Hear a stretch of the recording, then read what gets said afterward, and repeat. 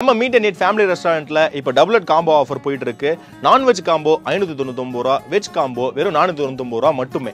இது தமிழ்நாடு முழுக்க இருக்க எல்லா பிரான்ச்லுமே இந்த ஆஃபர் வந்து அப்ளிகபிள்ங்க உங்களோட ஃபேவரட் ஃபுட் டெலிவரி ஆப்பில் போய் ஆர்டர் பண்ணுங்க. விட்றாதீங்க மௌனகீதங்கள் அந்த ஏழு நாட்கள் இந்த மாதிரி படங்கள்லாம் பார்க்க போது பாக்யராஜ் சார் என்னை ரொம்ப கவர்ந்தார். சார் நீங்கள் அப்படியே டேரக்டர் மாதிரியா இருக்கீங்க சார். எங்கள் டேரக்டர் மாதிரியா இருக்கீங்க. பாண்டியராஜ் சார் காலெல்லாம் உழுவுறாரு. பாக்யராஜ் சார் என்ன ஆசீர்வாதம் பண்ணுற மாதிரி உண்டான போகுது வாங்க நீங்க தானே அந்த பிரகாஷ்பதி அப்படின்னாரு. என்ன ஏன் போட்டோ என்கிட்ட கொடுக்குற? அப்படின்னாரு. இல்லை சார் இது நான் தான் சார். அப்படின்னு இல்லையா ஏதோ ஒரு தப்பு நடந்திருக்கு. கோகுலத்தில் நான் வடிவேல் சார் கேரக்டரில் தான் ஃபிக்ஸ் ஆனேன் முதல்ல. நான் ஸ்டெப் ஏறும்போது அவர் இருந்தாரு அப்படின்னாரு வடிவேல் சார் என்னை பார்த்துட்டு. அவருக்கு நான் பெரிய நடிகை அப்போ. அதுக்கப்புறம் ஒரு சின்ன மோதல் ஒன்று வந்துச்சு. மோதல் சொல்லாமா சொல்லுங்க சார். ஒன்றுமணி சார் கூட நிறைய ஒர்க் பண்ணியிருக்கேன். அவன் சொல்லி வாழ்த்த வயதில்லை வணங்குகிறோம்னு சொல்லியிருப்பான். வயசுக்கு வந்ததுக்கு அப்புறம் வாழ்த்துப்பா வைப்பா. என்ன குமரேஷா இவனுங்க திருந்த மாட்டானுங்களா? தலையில இடி உழுக. நீங்க இண்டஸ்ட்ரிக்கு வந்து எவ்வளவு வருஷம் ஆச்சு குமரேசன் அப்படின்னா? இருபத்தஞ்சு வருஷத்துக்கு மேல இருக்கும் சார் வருஷத்துக்கு ஆயிரம் ரூபான்னா கூட ஒரு இருபத்தாயிரம் ரூபா கொடுக்கலாம் சார் ஒரு ஒரு ஆர்டிஸ்ட்டுக்கு எப்படி பேமெண்ட் வாங்கி கொடுக்குறாரு பாருங்க அவரு. அவருக்கு அந்த மறக்க முடியாத சம்பவங்கள் நிறைய நிறைய இருக்கு நிறைய இருக்கு சார் மறக்க முடியாத சம்பவமா மொத்தமா கொடுத்துட்டு போயிட்டாரு. தமிழ்நாடு நவ் நேர்களுக்கு வணக்கம். நான் மா பாண்டியராஜன். இன்னைக்கு இந்த நேர்காணல் என் கூட வந்து நடிகர் குமரேசன் சார் இருக்காரு. இவர் வந்து நீங்க பல படங்கள்ல பார்த்துருப்பீங்க. வடிவேல் சாரோட காமெடி பண்ணி பார்த்துருப்பீங்க. விக்ரமன் சார் படத்தில் நடிச்சு பார்த்துருப்பீங்க. ஸோ இன்னைக்கு அவரோட டிராவல் பத்தி நிறைய விஷயங்கள் நம்ம பேச போறோம். வணக்கம் சார். வணக்கம் பாண்டியராஜன் சார். வணக்கம்? வணக்கம். நல்லா இருக்கேன் சார். நல்லா இருக்கேன். முதல்ல என்னை வெளியில் வந்து ஒரு பத்து பேர் பத்து பேரில் ஒரு நாலு பேருக்கு என்ன தெரியுது ஒரு ஆர்டிஸ்டாக தெரியுது அப்படின்னா அதுக்கு ஒரே காரணம் பல காரணங்கள் இருக்குது அதில் ரொம்ப முக்கியமான காரணம் வந்து திருவாளர் விக்ரமன் சார் அவர்கள் மட்டும்தான். ஏன்னா அவர்களுடைய எல்லா படத்துலையும் எனக்கு ஏதாவது ஒரு நல்ல கேரக்டர் கொடுப்பாரு. ஸோ அதனால் என்னுடைய இந்த இன்டர்வியூவை முதல்ல அவருக்கு நன்றி சொல்லிட்டு நான் ஆரம்பிக்கிறேன். ஸோ அந்த சினிமாக்குள்ள குமரேசன் அப்படின்ற வரதுக்கு முன்னாடி அவருக்கு ஆசை சினிமா ஆசை வரதுக்கு முன்னாடி எங்க இருந்தார் என்ன பண்ணிட்டு இருந்தாரு? இல்லை எனக்கு சின்ன வயசுலேருந்தே எனக்கு ஸ்கூல் டேஸ்லேருந்தே ஒருத்தர் யாராவது பெக்குலியராக ஒன்று பண்ணால் அது உடனே அதை நான் பண்ண பண்ணிடுவேன். அப்புறம் அந்த மௌனகீதங்கள் அந்த நாட்கள் இந்த மாதிரி படங்கள்லாம் பார்க்கும்போது பாக்யராசர் பாக்யராஜ் என்னை ரொம்ப கவர்ந்தார். ஒரு சினிமாத்தனம் இல்லாத ஒரு இயல்பான ஒரு யதார்த்தமான ஒரு நடிப்பில் அது ரொம்ப எனக்கு பிடிச்சிருந்து ரொம்ப ஒரு மாதிரி இருந்தேன். அப்போ எனக்கு ஹெட்டேக் கொஞ்சம் வந்துச்சு. கண்டினியூவாக கொஞ்சம் ஹெட்டேக் வந்த மாதிரி இருந்ததுன்னு சரி டாக்டர்கிட்ட போனால் கண்ணாடி போட சொன்னார். கண்ணாடி போட்டுட்டு போனால் ரோட்டில் எல்லாரும் ஏய் பாக்கியராஜ் மாதிரி இருக்காரு பாக்கியராஜ் மாதிரி இருக்காருன்னா எனக்கு ஆஹா நம்மளை பாக்கியராஜ் மாதிரி இருக்குன்னு சொல்கிறாங்க சரி நடிக்க போகலாமான்னு வீட்டில் கேட்டால் அடிப்பாங்க. திட்டுவாங்க. என்ன பண்ணுறதுன்னு தெரியல. அதுக்கு தகுந்த மாதிரி எனக்கு படிப்பும் ஏறலை. ஒவ்வொரு கம்பெனியாக ஒவ்வொரு கம்பெனியாக ஏறி ஏறி ஏறி ஏறி இறங்கும் போது தான் எனக்கு அந்த திருவாளர் நம்ம ஆர். பாண்டியராஜன் சாருடைய நட்பு கிடைச்சிது. அவர் அப்படியே அப்போ தான் அவர் கன்னிராசின்னு ஒரு படம் எடுக்கிறதுக்கு ஆரம்பிக்கிறார். அவர் பாக்யராஜ் சாரோட அசிஸ்டன்ட் அவருடைய அசோசியேட் அவருடைய ரொம்ப க்ளோஸ் அவர். நான் வழக்கம் போல் கம்பெனி கம்பெனியாக போய் சான்ஸ் கேட்டுட்டு விக்ரம் கிரியேஷன்ஸ்னு எழுதியிருந்தது. கன்னிராசின்னு பிரபு சார் திரு பிரபு சாரோட படமும் ரேவதி அம்மா படமும் போட்டிருந்தோம். முதல் படம் அது. முதல் படம். ஆண்பாவம் ரெண்டாவது படம். போய் வாய்ப்பு கேட்டுடலாம் உள்ளே போனால் ஒரே ஒரு ஒருத்தர் உட்காந்துருந்தார் இளங்கோன்னு பின்னால் தான் தெரியும். ஒரு மேனேஜர் இளங்கோ அவர் சார் அவர் உட்காந்து திடீர்னு எதிர்த்து உள்ளே ஓடினார். வெளியில் வந்தால் ஒரு பதினஞ்சு பேர் ஓடிடுறாங்க. எனக்கு சிச்சோ என்னடா நான் ஒன்றும் ஒன்றுமே பண்ணலையே எதுக்கு இவ்வளோ பேர் விடுறாங்க எல்லாம் என்னை சுற்றி உட்காந்துட்டாங்க சார் நீங்கள் அப்படியே டேரக்டர் மாதிரியா இருக்கீங்க சார் எங்கள் டேரக்டர் மாதிரியா இருக்கீங்க. பாண்டியராஜன் சார் காலில் எல்லாம் உழுவுறாரு. சார் சார் சார் சார் நீங்கள் யாருன்னு எனக்கு தெரியல சார். நான் தான் டைரக்டர் பாண்டியராஜன் சார். பாண்டியராஜன் பேர் இந்த படம் டைரக்ட் பண்ணுறேன் நீங்கள் இதில் வந்து ஒரு ஒரு எதுக்கு வந்தீங்கன்னு நம்ம வாய்ப்பு கேட்டு வந்தோம் சார். போரூரில் ஒரு கோவிலில் அன்றைக்கி தான் ஃபஸ்ட்டு ஷாட் அந்த கன்னிராஜன்ற படம். கோயிலேருந்து நானும் என்னோட ஒய்ஃப் புது ரெண்டு பேரும் புதுசாக கல்யாணம் ஆகி வர்ற மாதிரி. என்னதான் எங்க அப்பா நான் நாலு போத்துல வச்சிருந்தாலும் தனி கொடுத்து போக ஆசை மனசா வந்துருச்சு. இது என் பொண்டாட்டி பச்சு எடுத்தோ அல்லது மத்தவங்க பச்சு எடுத்தோ முடிவு இல்ல. இந்த டயலாக் அர்த்தம் புரியுதா உங்களுக்கு அப்படின்னாரு. புரியல சார் அப்படின்னு. இல்லை நான் பாக்யராஜ் சார்கிட்ட இருந்து சண்டை போட்டுட்டு வந்துட்டேன். ஸோ இப்போ நான் முத முதல்ல ஆரம்பிக்கிறேன். ஸோ பாக்யராஜ் சார் என்ன ஆசீர்வாதம் பண்ணுற மாதிரி உண்டான டயலாக்கு பாக்யராஜ் சார் ஏதாவது பார்த்துட்டு ஏதாவது சொன்னாரா? இல்லை பாக்யராஜ் சார்கிட்ட வந்து நான் கன்னிராசி படம் பார்க்குறாரு கன்னிராசி ஷூட்டிங் அப்போ ஆரம்பிக்கும் போது ரெண்டு பேருக்குள்ள ஒரு மிஸ் அண்டர்ஸ்டாண்டிங்கு படம் ப்ரொஜெக்ஷன் ரெடி ஆயிடுச்சு. படம் ரெடி ஆனவுடனே இவங்க ரெண்டு பேருக்குள்ள ஒரு அண்டர்ஸ்டாண்டிங் வந்துருச்சு. குருக்கிட்ட இருந்து போட்டு மன்னிச்சுங்க அப்படிலாம் சொல்லிட்டு ப்ரொஜெக்ஷன் காட்டுறாரு. குட்லக் தேட்டரில் நினைக்கிறேன். வல்லூர் கோட்டம். குட்லக் தேட்டர்லேயே ஏதோ ஒரு தேட்டரில் ஃபஸ்ட்டு சீன் அவர் சைலண்ட்டாக இருக்காரு. யார்? பாட்டிராஜன் சார் சொல்லவே இல்லை. ஓப்பனிங்கில் பார்த்த உடனே டேரக்டர் மாதிரி ஒருத்தன் வந்த உடனே கோழி மிச்சு குஞ்சு செத்துறா போகுது உன் மேல பாரத்தை போட்டு இன்னைக்கு புதுசா பால் காய்ச்சி குடிவா போறேன். எல்லாமே நல்லபடியா இருக்கு அழுபடியப்பா என்ன பா- பாண்டியர என்ன பாண்டி? இப்படியே சொல்லிட்டு நிறுத்துன்ட்டாராம்.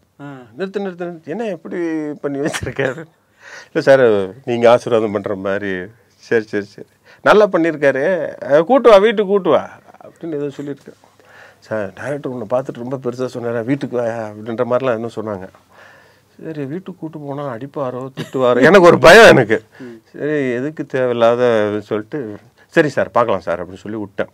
திடீர்னு ஒரு நாள் விவேக் சார் எனக்கு ஃபோன் பண்ணுறாரு பாசத்தலைவனுக்கு பாராட்டு விழான்னு நம்ம கலைஞருக்கு எடுக்கிறோம். அதில் வந்து ஒரு half an hour script script ஒன்று பண்ணணும். அது நீங்கள் ஒரு ஓப்பனிங் நீ ஒரு கேரக்டர் பண்ணுற குமரேசன் அப்படின்னாரு. சரிங்க சார். லைவு நம்ம சார் முன்னால் த சிஎம் சார் முன்னால் பண்ணணும்.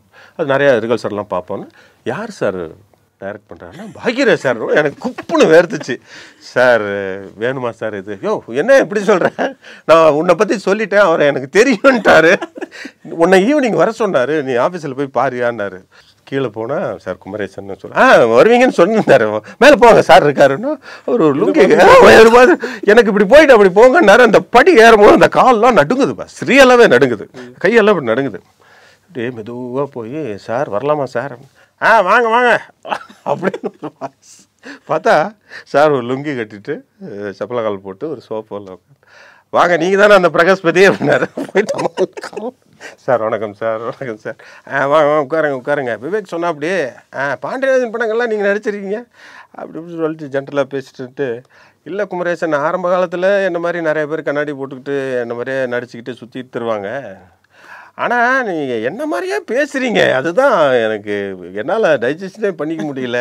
நான் ஒரு ஃபோட்டோ ஒன்று வச்சுருக்கேன். அப்போ எடுத்துகிட்டு போயிருந்தேன். அந்த இந்த ஃபோட்டோவை அப்படி காட்டினேன். என்ன என் ஃபோட்டோ என்கிட்ட கொடுக்குற? அப்படின்னாரு. இல்லை சார் இது நான் தான் சார் அப்படின்னு நீயா? இப்படியே வச்சாரு கொடுக்க மாட்டேன்ட்டாரு. கையில் இப்படியே வச்சு இல்லையா ஏதோ ஒரு தப்பு நடந்திருக்கு. ஒன்றும் உங்கள் அப்பா தப்பு என்ன இருக்கணும்? இல்லை எங்கள் அப்பா தப்பு. என்ன இப்படியா ஒரு அநியாயத்துக்கு ஒரு ஃபோட்டோ எடுத்துக்கணும் காட்டுவேன் என்கிட்ட? என்னால் அது சா- அது எனக்கு அது ஒரு பெ- நான் யாரை மனசுக்குள்ளே நினச்சி சினிமாவில் நடிக்கிறதுக்கு ஒர்க் பண்ணுறதுக்கு வந்தனோ அவரே வந்து மாதிரி இந்த மாதிரி ஒரு இது சொன்னோன்னே எனக்கு அவர் கூட உட்காந்து பேசிகிட்டு இருக்கிற அந்த ஒரு ஆஃப் அன் ஹவர் இருக்கும். அப்படியே புலகாங்கியதம்னா அப்படி ஒரு சந்தோஷம் எனக்கு. ஸோ அதில் ஒர்க் பண்ணும்போது அப்போ விவேக் சார் போட்டு கொடுத்துட்டார். சார் உங்கள் குருநாதர் மாதிரி ரொம்ப பிரமாதமாக பண்ணுவார் என்ன மாதிரி தான் பண்ணுவேன் குரு மாதிரியுமா அப்படின்னாரு. பண்ணி காட்டினேன். அவரு வாயில் அந்த கர்ச்சிப்பை வச்சுக்கிட்டு எந்திரிச்சு இப்படி ஓடுறாரு அப்படி ஓடுறாரு. அந்த ரூமில் அப்படி சிரிக்கிறாரு. சிரிச்சிட்டு யோ நீ இந்த சீன்லாம் பார்க்கவே இல்லை. எப்படி அப்படி நடிக்கிற நீ? இப்படி தான் இருக்கும்னு எப்படியா நடிக்கிற? அப்படி தான் இருந்தது. என்ன அந்த காலத்தில் என்ன இப்படி தான் ராஜா ராஜா தான் கூப்பிடுவார் அவர். ராஜா அப்படின்னு அவர் ஒரு டைப்பாக பேசுவார். அப்போ அப்படியே இருந்தது அந்த வயசுலாம் ஆனால் நாள் ஈவினிங்கு ஒரு அஞ்சு மணிக்கு போய் நின்றுட்டுருக்கேன் இவர் உள்ளே வந்தவொடனே என்னை சிரிச்சிட்டார். யோ கனவுலெல்லாம் வரையா நீ? எப்படி இருக்கும்னு நினச்சி பாருங்க. ஸோ இப்படித்தான் என்னுடைய இது போயிட்டு இருந்தது. ஸோ அடுத்து வடிவேல் சாரோட உங்களோட ஆமாம் எனக்கு வடிவேல் சார் கூடனா கோகுலத்தில் நான் வடிவேல் சார் கேரக்டரில் தான் ஃபிக்ஸ் ஆனேன் முதல்ல. விக்ரமன் சார் வந்து என்னை திடீர்னு கூப்பிட்டாரு. கூப்பிட்டு குமரேசன் ஏதாவது வேற ஏதாவது படங்கள் பண்ணிட்டு இருக்கீங்களா அப்படின்னாரு ஆமாம் சார் ரெண்டு படம். இதில் நிறைய கொஞ்சம் டேட்ஸ் தேவைப்படும் குமரேசன் பெரிய ட்ராக்கு சின்னியும் நீங்களும் பண்ணுறீங்க ரெண்டு பேரும் பண்ணுறீங்க சார் ரொம்ப சந்தோஷம். அட்வான்ஸ்லாம் கொடுப்பாங்க வாங்கிங்க. துணி அளவு கொடுத்துட்டு போயிடுங்க. அப்படி இப்படிலாம் சொன்னார் நானும் துணி அளவெல்லாம் கொடுத்துட்டு போனேன். திடீர்னு ஒரு ரெண்டு மூணு நாள் கழிச்சு கூப்பிட்றாரு. இங்கே தான் டி நகரில் தான் ஆஃபீஸ் இருந்தது அப்போ. எதுக்கு எதுக்கோ கூப்பிட்றாருன்னு போனால் அப்போ தான் தேவர் மகன் ரிலீஸ் ஆகி பீக்கு கீழே வடிவேல் சாருக்கு துணி அளவு எடுத்துட்டு இருக்காங்க. நான் மேலே டேரக்டர் போங்க அப்படின்னாரு. நான் ஸ்டெப் ஏறும்போது அவர் இருந்தார் அப்படின்னாரு வடிவேல் சார் என்னை பார்த்துட்டு. அவருக்கு நான் பெரிய நடிகை அப்போ. ஓகே எப்படின்னாரு நானும் சார் வணக்கம் சார். ரொம்ப நல்லா பண்ணியிருந்தீங்க சார் அந்த சூப்பராக இருந்தது sir. Sir thank you sir thank you sir அப்படின்னாரு. நான் சரி ஏதோ வேறு கேரக்டர் வந்துருப்பாரு போனால் அவர் குமரேசன் சாரி குமரேசன். எவ்வளோ சொன்ன ப்ரொடியூசர் வந்து இவரை வடிவேல போடுங்க சொல்கிறாரு தேவர் மகனில் ரொம்ப நல்ல கேரக்டர் பண்ணியிருந்தார். ஸோ அதனால் தப்பாக நினச்சிக்காதீங்க. இதில் இப்போதைக்கு ஒன்றும் இல்லை குமரேசன். எனக்கு குப்புன்னு வேர்த்துருச்சு. சார் என்ன சார் இப்படி சொல்கிறீங்க அது இருந்தால் இல்லை இல்லை நான் இருக்கிற மாதிரி நான் பார்த்துக்கிறேன் நீங்கள் இருப்பீங்க கண்டிப்பாக இருப்பீங்க. நீங்கள் இல்லைங்கிறத அவங்க சொல்லி வேறு ஏதாவது படம் வந்தால் ஒத்துக்குங்க. நான் சொல்கிறேன் உங்களுக்கு அப்படின்னாரு. என்னன்னு தெரில திடீர்னு ஒரு மறுபடியும் ஒரு ரெண்டு நாள் கழிச்சு கூப்பிட்டு குமரேசன் இந்த ஜெயராம் சார் கூட ஒரு அவர் ஒரு ஸ்டுடியோ வச்சுருப்பாரு. அதில் ஒரு சீன் ரெண்டு சீன் தான் நான் அந்த ஹாஜா ஷரீஃப் போட்டிருந்தேன். அவரை எடுத்துகிட்டு உங்களை போட்டேன். த்ரூ அவுட்டாக வர்ற மாதிரி. இந்த சின்னி வடிவேலு ஜெயராம் சார் நீங்கள் எப்படி ட்ராக் வரணும் ஆனால் சத்தியமாக சொல்கிறேன் சார் அவங்கள விட எங்களை ஜெயராம் சாரும் என்னை மட்டும்தான் ரசிச்சு ரசிச்சு எடுத்தார். ஆனா ஒரு காலத்துல இந்த ஊர்லயே சிறப்பான மிக சிறப்பான போட்டோ ஸ்டுடியோ எதுன்னு கேட்டா அது இதுதான்டா. ஒரு காலத்துல என்ன? கேமரா கண்டுபிடிக்கிறதுக்கு முன்னாலயா? வடிவேல் சாரோட ஒரு ஒரு ஒரு அதுக்கப்புறம் ஒரு சின்ன மோதல் ஒன்று வந்துச்சு. மோதல் சொல்லாமா சொல்லுங்க சார். நான் டப்பிங் ஆர்டிஸ்ட் எயிட்டி இருந்தே நான் டப்பிங் காட்டலாம் வச்சுருக்கேன் டப்பிங் ஆர்டிஸ்ட் ஒரு தடவை என்னாச்சு ஒரு டைரக்டர் கம் ஆர்டிஸ்ட்டு அவரும் ஒரு படம் எடுத்திருக்காரு. நான் சொல்கிறது சிங்கார வேலனுக்கு முன்னால். சிங்கார வேலன் படத்துக்கு முன்னால் வடிவேல் சார் அதில் ஏதோ ஒர்க் பண்ணியிருக்கார் போல் இருக்கு இப்போ தேவர் மகன்லாம் ரிலீஸ் ஆகிடுச்சு இவர் ஒரு பரபரப்பை க்ரியேட் பண்ணி நல்லா வந்துகிட்டு இருக்காரு. கோகுலம் ஷூட்டிங் போயிட்டுருக்கு கோகுலம் அண்டர் ப்ரொடக்ஷனில் இருக்குது இப்போது நான் வந்து டப்பிங்கு ஒரு ஜான் பாண்டியன் ஒரு பெரிய அரசியல்வாதி இருக்கார் இல்லையா? அவர் நடித்த ஒரு சீனுக்கு அவர் ஒரு ஏழு எட்டு சீன் நடிச்சிருந்தார் ஒரு கேரக்டரில் அந்த கேரக்டருக்கு வாய்ஸ் கொடுக்க போயிருந்தேன்.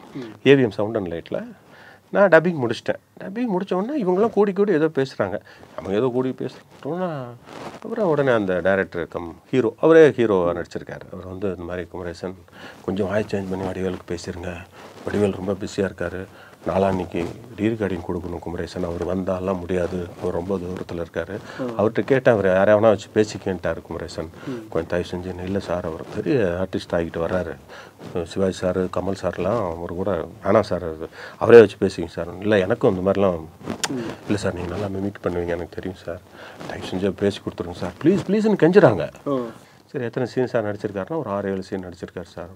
அப்படியே கண்டினியூ பண்ணிக்கலாம்னு சொல்லிட்டு ஈவினிங் சிக்ஸ்லேருந்து ஒரு ஒரு டுவெல்லுக்குள்ளே முடிச்சிட்டேன். ஆறு சீனும் வடிவேல் சார் மாதிரி ஓரளவுக்கு மேக்ஸ் பண்ணி எல்லாம் பேசி முடிச்சிட்டேன் முடிச்சேன் வந்துட்டேன்.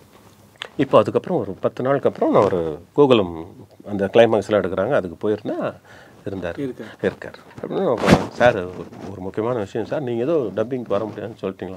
இந்த படத்தில் நான் தான் பேசியிருக்கேன் சார். அது எனக்கு நீங்கள் பேசுகிறீங்களா ஆ. இல்லை சார் முடியாதுன்னு தான் சொன்னேன் சார். நீங்கள் பர்மிஷன்லாம் அவங்க தான் அவரே வச்சு பே யாரை வேணா வச்சு பேசிங்க சொல்லணும் ப்ரொடியூசர் டேரக்டர் தான் சொன்னார். அவர் சொன்னால் நீங்கள் எப்படி சார் கேட்கலாம்? அப்படி இப்படின்னு. ஏ சிட்டி இங்கே பாடுறா என்னடா இது? இப்படின்னு சொல்லி கிண்டல் பண்ண ஆரம்பிச்சு. எனக்கு கோவம் வந்துருச்சு.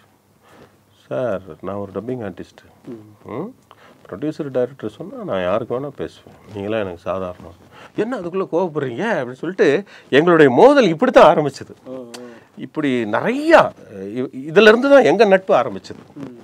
அப்புறம் சுந்தர் சி சார் படங்களில் ஒரு நாலு படங்கள் அருமையான கேரக்டர்கள்லாம் கொடுத்தாரு எனக்கு. உண்மையில் அந்த ரெண்டெல்லாம் வந்து இப்போ வரைக்கும் பேசப்பட்டுக்கிட்டு இருக்க ஒரு படங்கள்.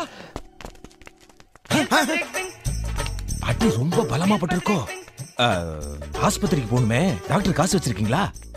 காசு தானே அந்த நிக்குது இல்ல த்ரோட்டாக கொடுத்தாரு அதில் வடிவேல் சார் கூட காம்பினேஷனில் வரும்போதெல்லாம் கொஞ்சம் ஓன் டயலாக்லாம் நிறையா போட்டு அது இதெல்லாம் பண்ண உடனே ஒரு மாதிரி உன்னை கூட வச்சுக்கிறது கொஞ்சம் பிரச்சனையாக இருக்கும் போல் இருக்கே. அதே மாதிரி விவேக் சாரும் சொல்லுவார். குமரேஷா உன்னை கூட வச்சுக்கிறது பூனையே கூடவே வச்சுக்கிட்டு இருக்கிற மாதிரி ஒரு இது குமரேஷா நீ டக்கு டக்குன்னு பேசிடுற. நீ பேசுறது நல்லாவும் இருந்து தொலைகிறது அப்படின்னு வர அவரு ஸோ ஒரு சில பேர் என்ன சேர்க்காததுக்கு சி- இதுவும் காரணமாக இருக்கலாமோ? தெரியல எனக்கு. என்னன்னு தெரியல. நம்ம ஆட்டோக்கார தம்பி எங்க இருக்கான்னு கொஞ்சம் பாருங்கம்மா.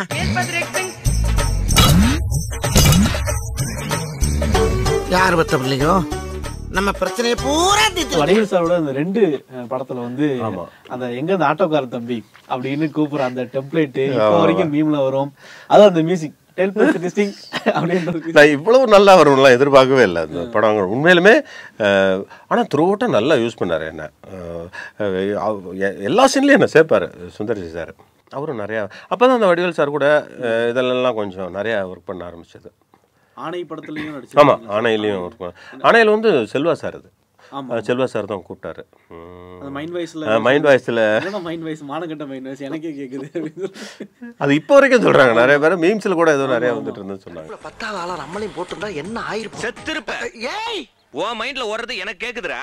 என்ன மைண்ட் இது? மானங்கட்ட மைண்ட் ஒரு நாள் விவேக் சார் ஃபோன் பண்ணுறாரு குமரேசன் சுந்தர்சி சார் படம் குமரேசன். நான் ஒரு ட்ராக் ஒன்று பண்ணுறேன் அதனுடைய எண்டு சீன் அது. இந்த எண்டு சீன் இந்த மழையில் வந்து நனைஞ்சு காமெடி ஒன்று இருக்கு. பார்வதி சிவகாமி சிவகாமி ஜோசியம் சம்திங் அந்த மாதிரி. அந்த மாதிரி ஒரு ஃபோன் பண்ணி சொன்னார். நான் சொன்னேன் சார் ஒரு சீன்லாம் வேணாம் சார். அப்புறம் ஒரு சீனுக்கே கூப்பிடுவாங்க அப்படின்னு. இல்லை குமரேசன் வேறு யாராவது போட்டால் இவ்வளோ நல்லா வந்துட்டு இருந்த ட்ராக் இந்த ஒரு சீன் நல்லா இல்லைன்னா கஷ்டமாயிடும் குமரேசன் அப்படி இப்படின்னாரு. கொடை பிடிச்ச மாதிரியே ஆ, ஆமா சார். நான் சொன்னேன் இல்லை சார் வேணாம் சார் மன்னிச்சுங்க சார். நீங்க வேற ஏதாவது வேலை கொடுங்க வீட்டு வேலை இருந்தால் கூட வந்து செய்கிறேன் சார். ஒரு சீன் வேணாம் சார். அது வச்சுட்டாரு. ஒரு ஹாஃப் அன் ஹவர் கழிச்சு மறுபடியும் கூப்பிட்றாரு. குமரேசன் தப்பாக நினச்சிக்காதீங்க. அப்படின்னு. சார் நான் வந்துடுறேன் சார். நீங்கள் ரொம்ப இந்த மாதிரி கேட்காதீங்க சார். ரொம்ப கஷ்டமாக இருக்கு. நான் வந்துடுறேன்னு சொல்லிட்டு போன உடனே இந்த சீன் சொன்னார். சொன்ன எக்ஸ்ட்ரா டயலாக் அது இதெல்லாம் போட்ட உடனே சுந்தர்சி சாருக்கு சிறு அப்போ வந்து குஷ்பு அம்மா வந்து நான் அப்போ அவங்க கூட கரிசை காட்டு போவேன்னு நம்ம கஸ்தூரிராஜா சாரோட படம் ஒன்று ஒர்க் பண்ணிகிட்டு இருக்கேன். அப்போ அவங்க அவங்க கூட நான் ஒர்க் பண்ணுறேன் அந்த படத்தில். குஷ்பு அம்மா வந்து இவங்கள சுந்தர்சி சாரை பார்க்க வந்திருக்காங்க. அது அந்த மழை எஃபெக்ட் போட்டுக்கிட்டு இருக்க சீனில் ஒரு பெரிய ஷாட் அது. அந்த ஷாட் முடிஞ்சவொடனே இந்த அம்மாவில் சிரிப்பு தாங்க. வந்து முதுகு முதுகாக அடிக்கிறாங்க அந்த அம்மா. குமரேசன் நான் கலக்கிறீங்க உங்களை. சூப்பர் குமரேசன். அப்போ விவேக் சொன்னார் பார்த்தியா குமரேசா நான் உன்னை விளையாட்டுக்கு கூப்பிடுவேனா குமரேசா எவ்வளோ நல்ல சீன் குமரேசா. வேறு யாராவது நினச்சிப்பார் குமரேசா எவ்வளோ சாதாரணமாக இருக்கும் இந்த சீன் நீ வந்த எவ்வளோ நல்லா ஆயிடுச்சு அப்படி இப்படிலாம் சொன்னார். ஸோ அந்த சீன்லாம் கூட சுந்தர் சி சார் வந்து அவ்வளோ ரசித்து எடுத்தார். தலையில இடி உழுக.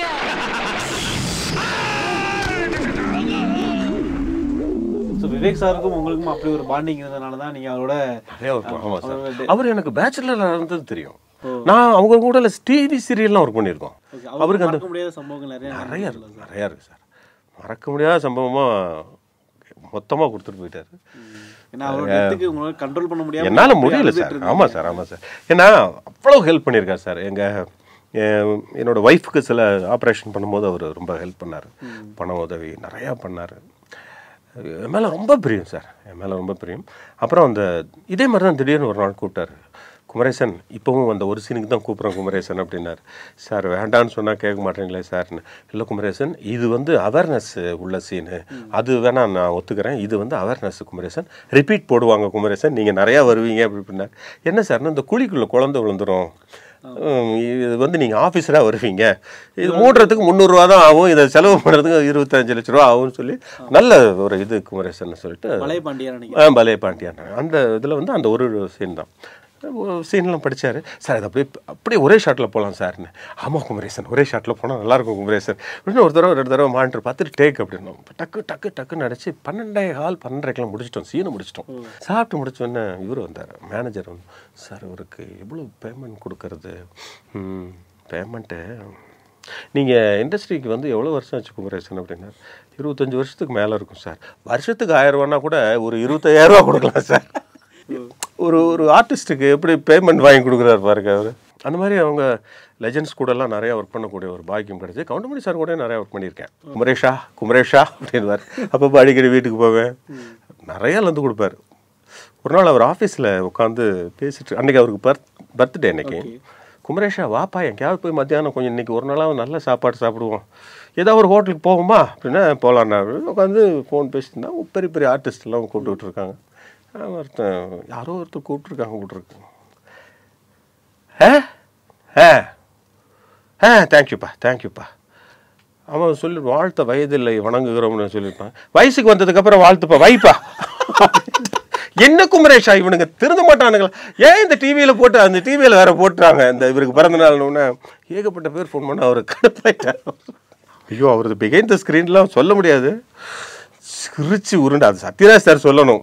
அது அப்படியே அது ஸ்க்ரீனில் வர நகைச்சுவையை விட மிக பெருசாக இருக்கும். ஏவிஎம் பக்கம் அப்படி போகிறேன் சூப்பர் குட் ஃபிலிம்ஸ் விக்ரமணின் புது வசந்தம். உள்ள போனால் இவர் நிற்கிறாரு இந்த படத்தில் ஒர்க் பண்ணுறீங்களா சார் ஆ ஒர்க் பண்ணுறேன் யார் டைரக்டர்னு சொன்னீங்கன்னா எப்படியாவது அவரை கவுத்து நான் நான் ஒரு நல்ல கேரக்டர் வாங்கிடுவேன் சார் அப்படின்னு.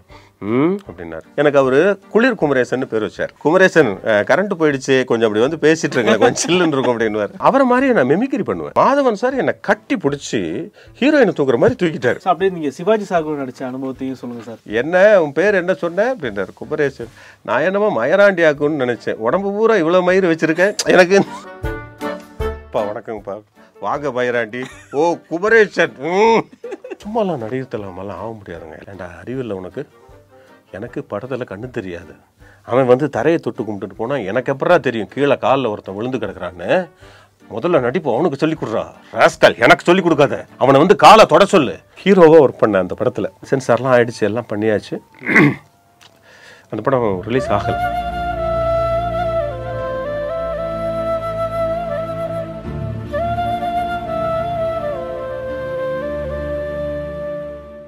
நம்ம மீட் அண்ட் ஃபேமிலி ரெஸ்டாரண்ட்டில் இப்போ டபுள் காம்போ ஆஃபர் போயிட்டு இருக்குங்க வெஜ் காம்போ பார்த்தீங்கன்னா four ninety nine nonveg combo பார்த்தீங்கன்னா ஃபைவ் நைன்டி நைன் இந்த ஆஃபர் வந்து தமிழ்நாடு முழுக்க எல்லா பிரான்ச்சஸ்லையுமே போயிட்டு இருக்கு இதை நீங்கள் யூஸ் பண்ணணும்னு நினச்சிங்க அப்படின்னா உங்களோட ஃபேவரட் ஃபுட் டெலிவரி ஆப் மூலயமா இதை நீங்கள் யூஸ் பண்ணிக்கலாம். ஸோ விட்றாதீங்க